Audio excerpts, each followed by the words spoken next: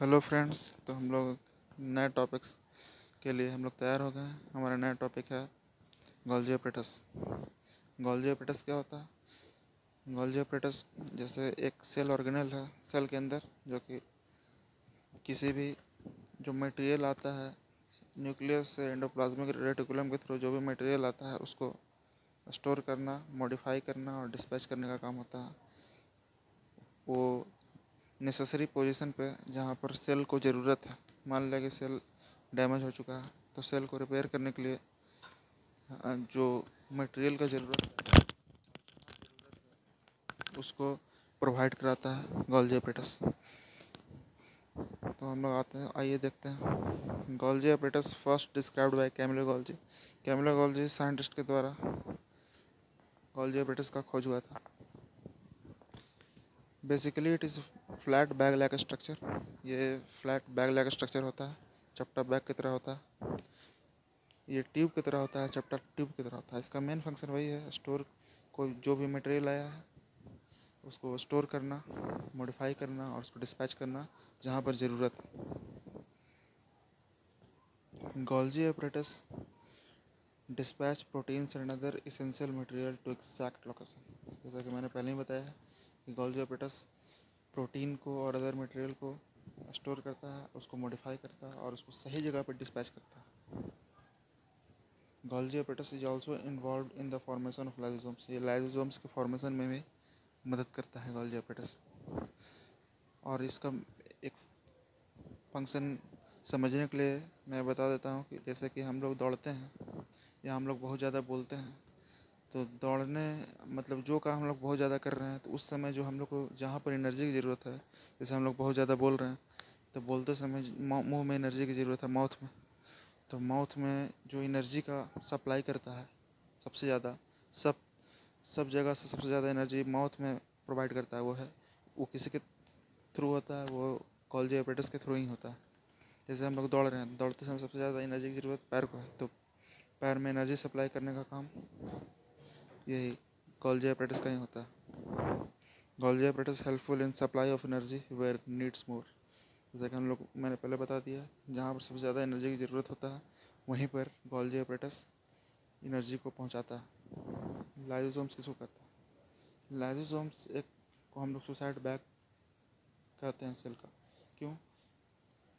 क्योंकि, जैसे कि मेम्ब्रेन बॉन्ड सेल ऑर्गेनल होता है ये लाइजोसोम और ये सुसाइड बैग इसको इसलिए कहते हैं जैसे क्योंकि लाइजोसोम्स में डाइजेस्टिव जूस होता है, जो कि रफ एंडोप्लाज्मिक रेटिकुलम और प्रोटीन से बना हुआ होता है।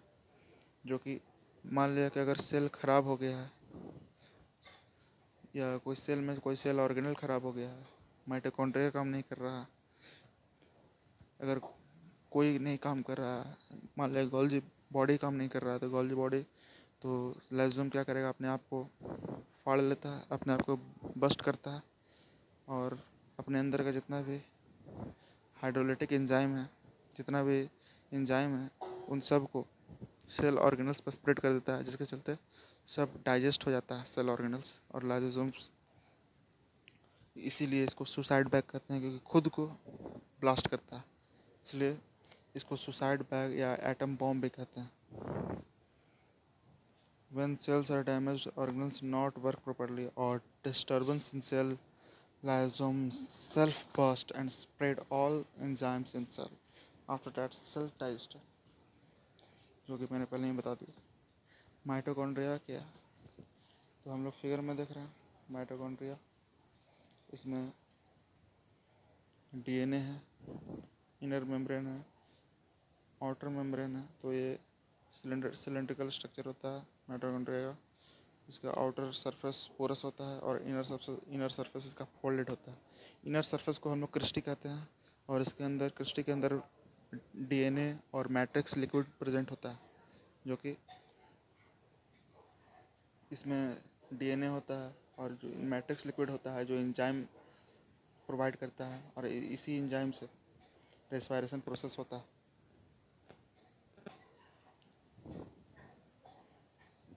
It is known as power house of the cell इसी को power power house of the cell के नाम से भी जानते हैं। It is double layer covering outer layer. It is double layer covering outer layer is covering and inner layer is folded. इसका बाहरी लेयर जो होता है कवर होता है और इनर लेयर फोल्डेड होता है। और इनर फोल्डेड लेयर को ही हम लोग क्रिस्टी कहते हैं। और इसी इनर फोल्डेड लेयर के अंदर ही मैट्रिक्स लिक्विड प्रेजेंट होता है।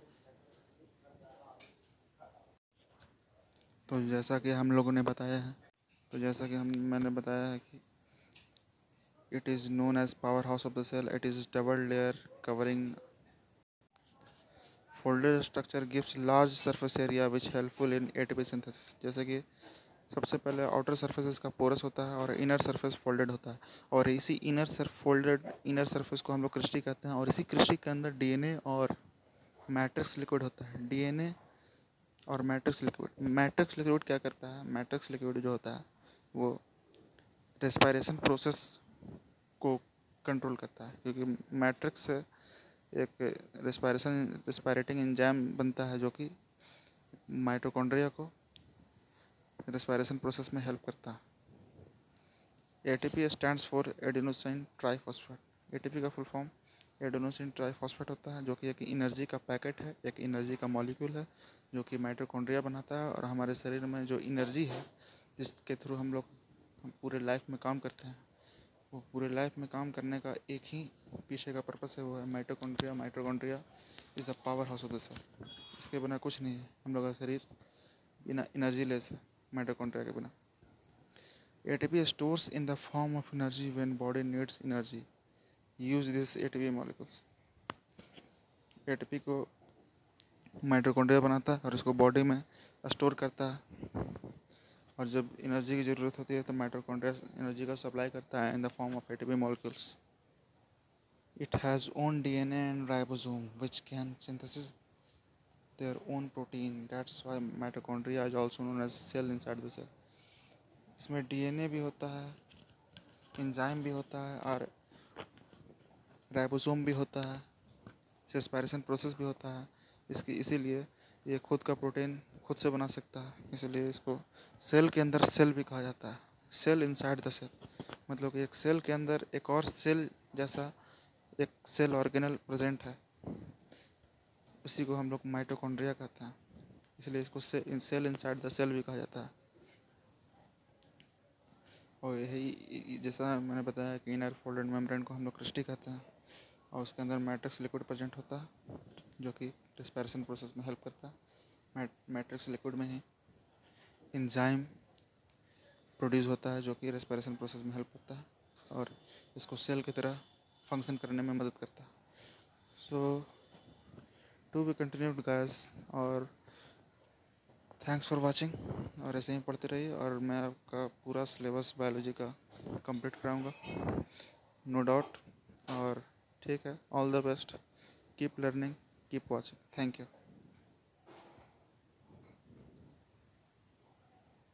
thank you